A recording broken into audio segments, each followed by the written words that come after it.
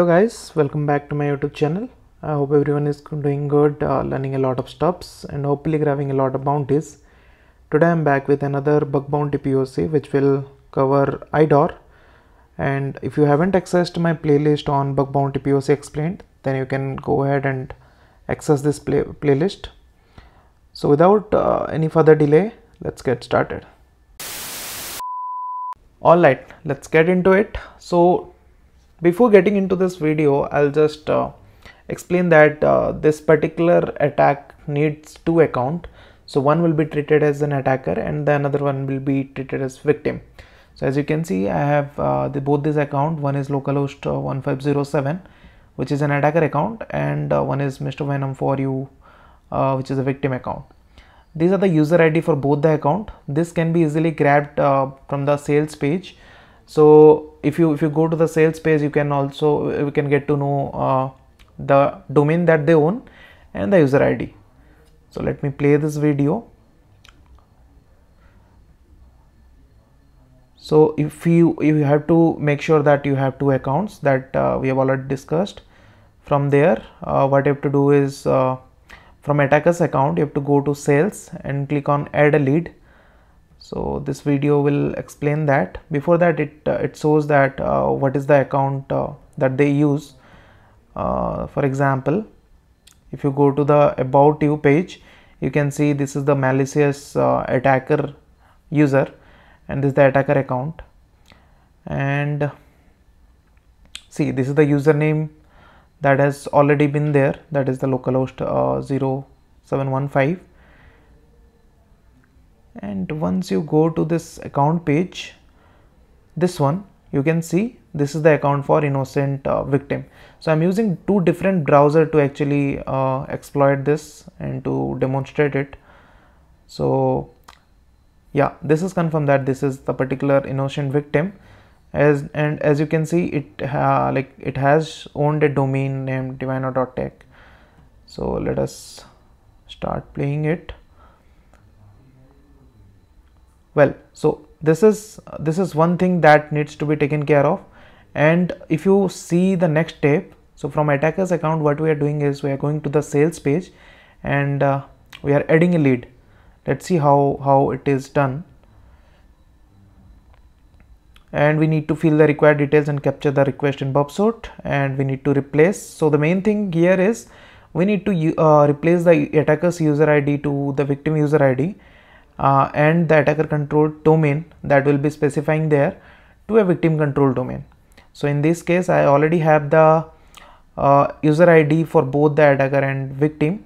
So I'll change this uh, attacker's uh, user ID to victim user ID and I'll change the domain from uh, attacker's domain that is crudePanda.tech to diviner.tech. So let us see how, how it can be done.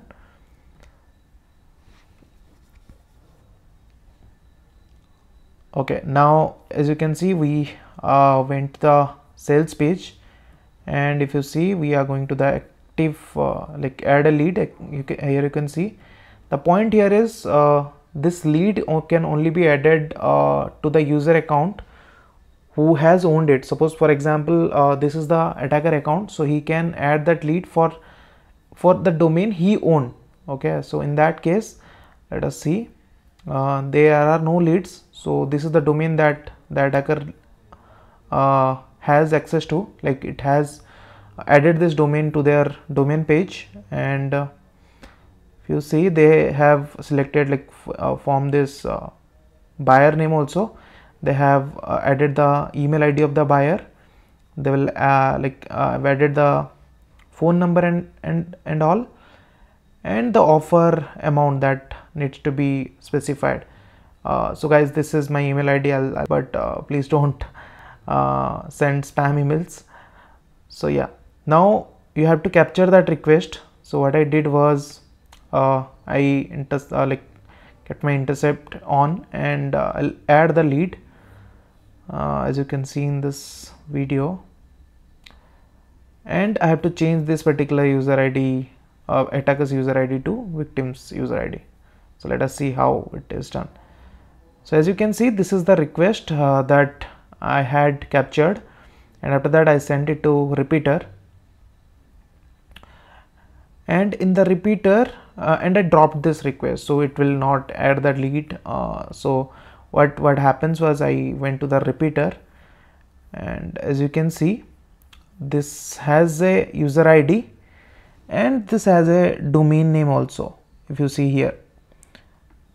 Okay so let us uh, play this video again. So what we will do is uh, we will change this user id to the victim's user id and this uh, domain that is owned by the victim. So let us do it. And this will this will go like this will uh, send an email to the particular email id that we have used and uh, as you can see i'm changing this particular user id here.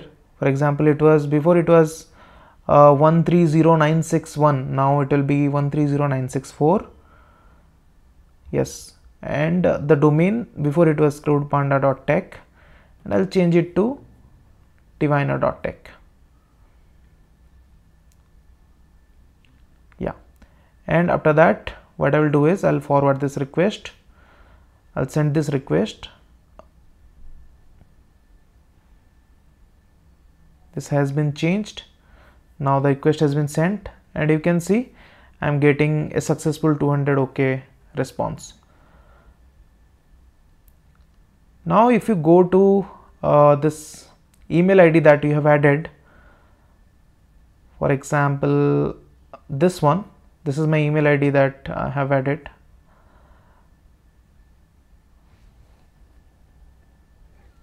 And you can see I, have got an email from dan.com that uh, uh, the owner of this particular email uh, this particular domain uh, has informed to like add a uh, offer. And once you confirm this transaction so yeah as you can see this is the email id that uh, i have used and where the email came from.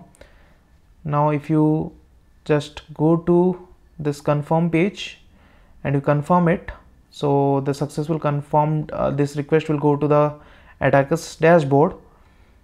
And you can see in this attacker dashboard you are you have uh, added this lead which was previously not there. So this is this is how you can actually exploit it but it was fixed uh, quite a long time ago. And uh, yeah so this is this is a classic example of uh, IDOR where I was able to add any add a lead for any account uh, for like any account whose user ID and uh, I know who, who which is the user ID that they own. And uh, with that if I know uh, what exactly the domain they own then I can add any lead uh, for them.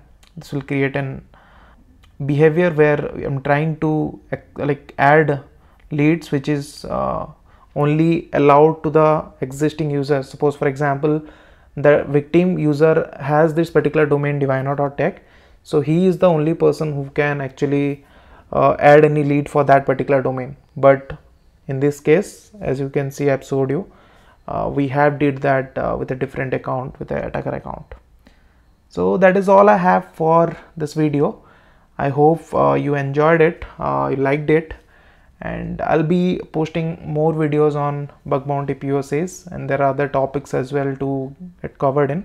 So if you like uh, like this video, if it if you learned something from this, hit a like, subscribe, and thank you. I'll see you in the next video.